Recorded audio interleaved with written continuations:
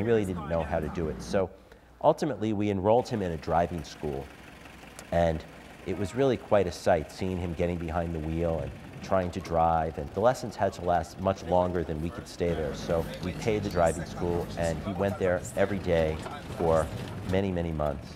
And then finally, his drug habit took hold of him once again and got the best of, of him, and he ended up um, quitting the school. I hadn't heard from Ron in quite some time, and then just last night, I received a phone call from him. When I looked at my cell phone and saw the 876 area code from Jamaica come up, I was thrilled because I had been so worried about him and I didn't know when I would hear from him, if I would hear from him again.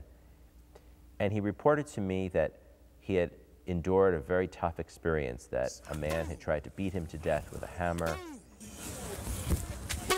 He had survived that, and when the man discovered that he was still alive, he attacked Ron again and cut off his finger.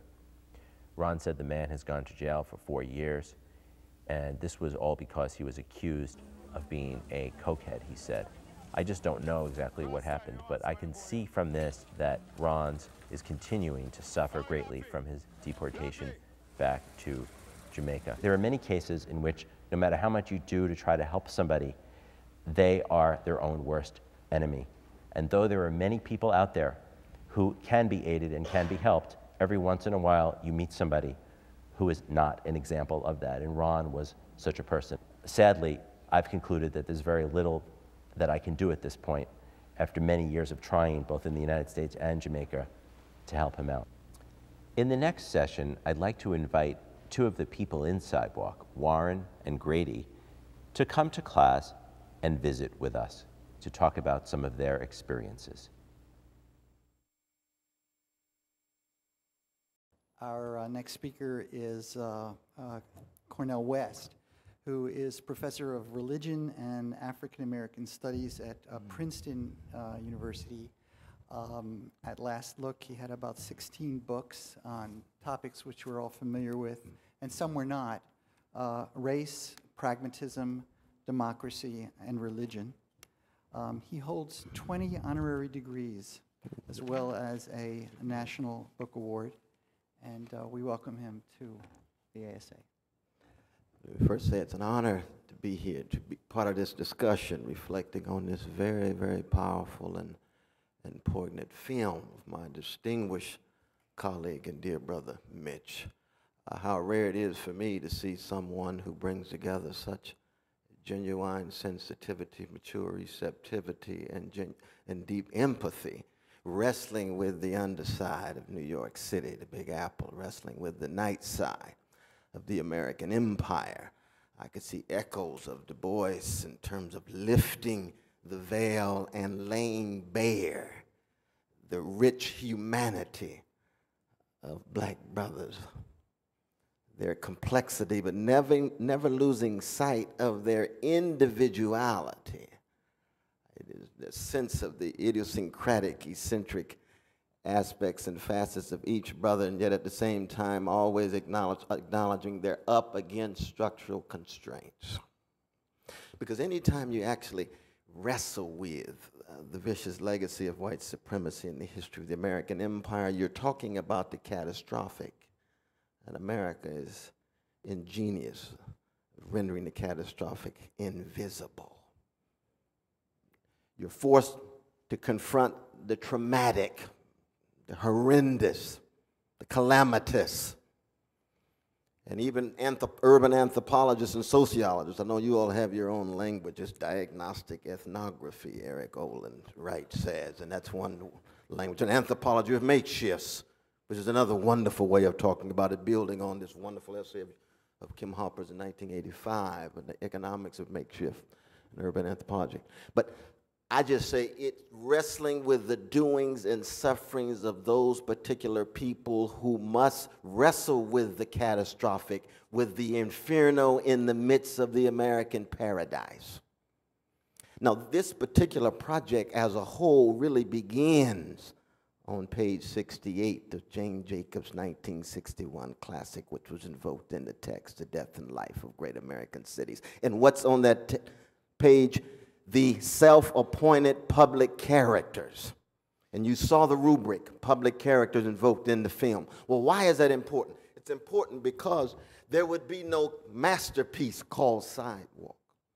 There would be no text or film without the coming together of a public character named Hakim and another public character named Mitch. And this Dante-esque journey into the inferno is one in which Hakim plays Virgil to Mitch's Dante. He's the guide. But the dynamic between the two needs to be highlighted precisely because without that coming together, and we should note that it, it, it, that Hakim is in exile. This is the very language that he uses in his powerful afterword.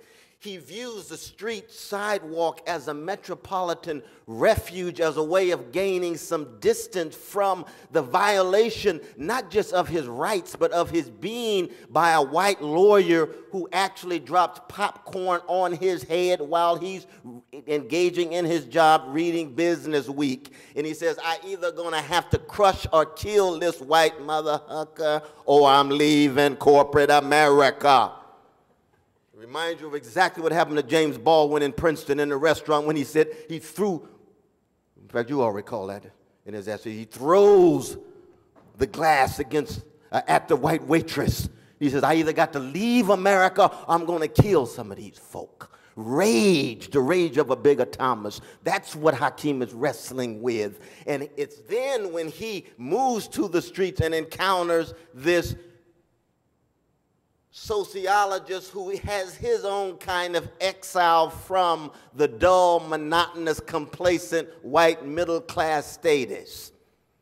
And it's their human coming together that constitutes the precondition of this lifting of a veil that we have all benefited from so deeply. At least I have, and I think most of us you would agree. You all agree with that? Let's give the film a, a hand first. let's be honest about that. But what does that mean? What, what, what kind of coming together are we talking about? Well, we're talking about two public characters an intellectual from the academy, an intellectual on the street, who meet in a law lounge at NYU with first experiences of profound suspicion. Hakim does not trust Mitch, just like much of black America does not trust the American Sociological Association. Because you don't have a good record over, over the decade and decade and decade of keeping track of the humanity of these kinds of brothers and sisters.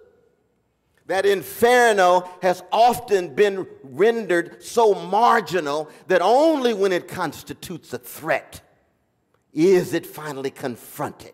But Mitch says no. I'm actually going to wrestle with overcoming this suspicion. Why?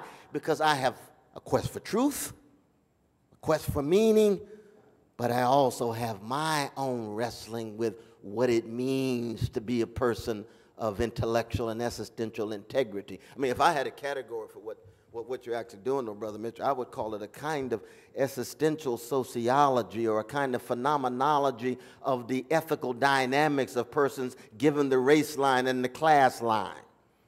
Which means then that you have to have a profound intellectual humility the kind that Drake and Cayton had in 1945 in their classic, A Black Metropolis or even the kind of Howard Becker in 63 of Outsiders. What does it really mean to so thoroughly call your own assumptions and presuppositions into question that you engage in an active listening? And you see this invoked over and over again throughout the text as we saw it on the film what does it mean for a mainstream to actually believe they can not only listen but learn something from the ways in which these people negotiate and navigate the inferno within the American paradise? And way, what are the ways in which the way in which they navigate are tied to who we are given the future of democracy, given that these people are very much a part of the democratic project, though often overlooked.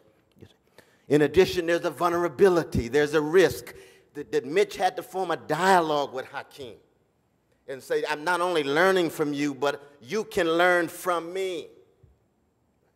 And the dialogue meant what? That he had to be vulnerable. He had to take a risk.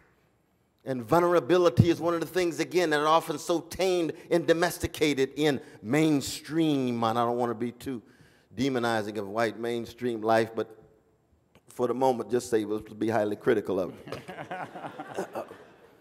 the blind spots and the wasted lives that are overlooked, as Adorno points out so deeply in page 151 of Minima Moralia. What does it mean to keep track of those things that, that are not assimilated into that mainstream? And of course, many of us are in the mainstream but refuse to be mainstreamed. That's my description of being at Princeton. But this risk and vulnerability. And then, in addition to that, the fragility of the provisional trust that emerges out of the hard work done between Hakim and Mitch.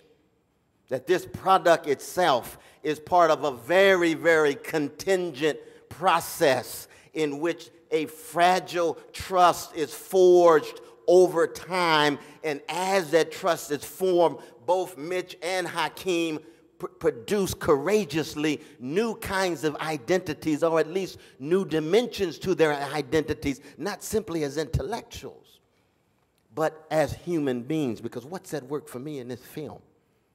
is really the ways in which these brothers are trying to define their sense of being, this existential. What does it actually mean to be human in light of what is coming at them? Now, we can all can tell stories about deindustrialization. We can tell stories about the repressive apparatus of the nation state and the role of the police. We can tell stories about local law 45 and the various ways in which they eliminate the spaces. We can tell stories about the weakening of the family. We can tell stories about the decentering of the various familiar networks and kinship networks, the weakening of the kind of armor that these folk once had, their mothers and their grandmothers, yes. And if you do get a chance to read the text, turn to page 78 and see the picture of Sister Aunt Naomi. Briefly, you saw it in the film, but just look at her 92 years old and the ways in which her humanity is so much, uh, it's not just on display, but her, her dignity is far beyond that of her grandson, even though she's broke as the Ten Commandments. What happens to that shift? What went into Aunt Naomi? Such that her dignity and self respect and self confidence is so undeniable. And yet there's her son who's deracinated and rootless and questioning himself and violating himself and destroying himself. That's an existential dimension to the sociological analysis put forward here. What I'm saying in part is that this particular coming together of these two intellectuals from different parts and sectors of our society has had and continues to have very, very powerful effects and consequences, even given the kind of policies in place and the kind of elites who rule at the moment. My, uh, if I have any criticisms of the text, it would be this. First, I do think that beginning with Jane Jacobs can be both fruitful, but it has its own limitations. Because she characterizes the city as a city of strangers, almost echoing the American Hamlet, Blanche Dubois. I depend on the kindness of strangers. You recall when she's uttered out, she's pushed out at the end of the streetcar named Desire, the great white literary bluesman Tennessee Williams she has very little sense, not just of the diversity and heterogeneity of Greenwich Village and Hudson Street where she lives, but she's not attentive to the catastrophic in 1961 at all. And part of the problem with mainstream discourse in the academy is you start with your framework of the lack of the catastrophic and then try to somehow amend your framework and get the catastrophic in rather than starting from the very history of the catastrophic and looking at the mainstream through the lenses. I put it another way the mainstream gaze at the catastrophic as opposed to looking at the mainstream through the gaze of those who are wrestling with the catastrophe. And I see Brother Mitch moving back and forth in that regard because the, the men are speaking themselves. But then at the same time, the framework itself goes back over and over again to Jane Jacobs. Jane, now Jane Jacobs is a towering public intellectual, let's be honest about this. But on the other hand, I think some of the starting points from which she and other sociologists begin needs to be thoroughly called into question. And by shattered, I don't mean overlooked and trashed. I mean incorporated, but in a very different kind of framework in this regard. The second point I would, I would note would be the West Indian dimension. The, the fact that Hakim's parents from Virgin Islands, Ron from Jamaica, and you can look at the beautiful faces and tell, mmm, looks like a little Barbados-like style there. That's a little different than Alabama, Gut Bucket, Jim Crow, Mississippi.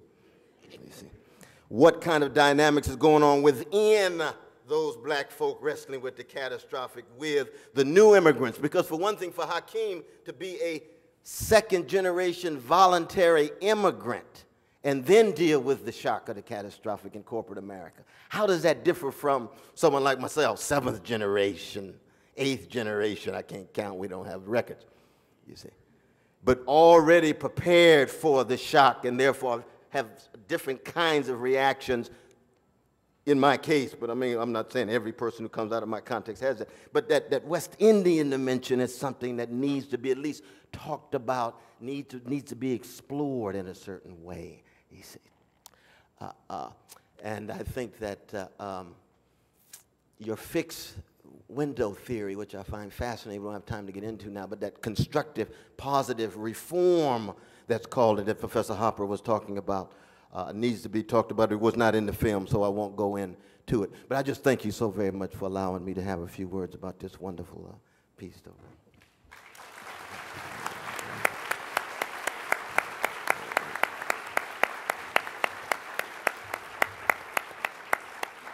We're now at the uh, point in our program where uh, our discussants are going to make some observations um, about the film. And uh, the first uh, speaker is going to be uh, Kim Hopper. Uh, Kim Hopper is a, uh, a professor uh, in public health at Columbia University. He's a medical anthropologist who's done ethnographic and historic research, historical research on psychiatric care and the homeless, um, concentrating on New, New York City. Um, he's the author of a classic book, uh, Reckoning uh, with Homelessness. And one of his other titles uh, caught my attention uh, The Moral Economy of Care. Turn it over to you, uh, Professor Hopper. um, I, I probably should start by saying I'm sure it's no reflection on the bench depth of team sociology that the uh, organizers of this session have asked an anthropologist and a philosopher to participate. There are, of course, the usual rumors of illicit substances, um, and, but those have been swirling since the 1960s, and until the lab results are in, I suggest we just ignore them. uh, I'm going to try and stick to some prepared remarks. There's an awful lot to say about this film and the text that provoked it, um, and maybe we'll have some time to, to talk about that later. There are a number of reasons, however, that I, a sometime scholar of homelessness and a student of cross cultural fortunes of psychosis, am somewhat ill equipped uh, for this charge. In the first place, as those of you who have read the book well know, a good proportion of these vendors are not homeless. A rare few, like Hakim, were on self imposed sabbatical from the corporate grind. A few others, like Henry and Alice, had been recently laid off more problematic still, some of those who might be considered in the book, not the film, loudly insist that they are homeless by choice. Others, Mudrick, for example, is of the awkward opinion that once homeless, always homeless. None of these options, a mixed population, an avowed preference, a destiny, much recommends itself to the usual premises of homelessness research. More to the point, and something I want to return to, homelessness today, although not historically, is defined by residence.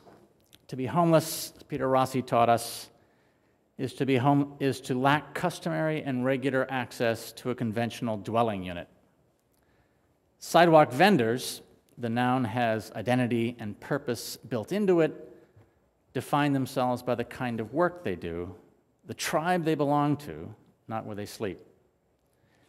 Mitch Duneier's less than felicitous way of recognizing this fact, his insistent use of the adjectival unhoused, is, by virtue of its own unlovely placement in a sentence, a call out to the reader to think about his word choice and why he made it.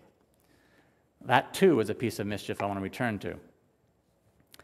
As Professor Malik um, mentioned, I make my own living in the divided house of public health. Crudely put, and risking caricature, on the one hand, the epidemiologies of homelessness and psychosis are all about structure. On the other, the anthropologies of same, mostly about agency. Risk is that contested field where the two meet. The epidemiologists do the necessary causal work of identifying and assessing those large, barreling social forces that convert ordinary deprivation and strain into hard decisions and sometimes lasting damage. The ethnographers, they sweat the small stuff over the long haul, documenting the post traumatic daily grind to limit and distribute that damage. The one examines how economies shift and divisively make for homelessness. The other, how people made homeless shift for themselves. Largely because of my interest in the latter, I opened Sidewalk eight years ago. At the time, you could walk from the page to the stage and see for yourself, and have kept reading since. Sidewalk is a sort of practice theoretician's workshop production.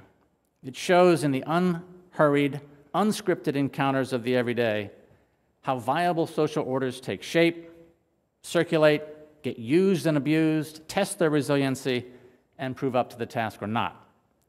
It documents how these men and a few women contrive a livelihood out of the excess use value, the discarded resor- resources, waste spaces, and inadvertently, protective rules of the formal economy. It's an extended case study in an unplanned social project. And with rare and noteworthy exceptions, programs of assistance in mental health, homelessness, addiction services especially, are not. Instead, they segregate and stigmatize, treating their clients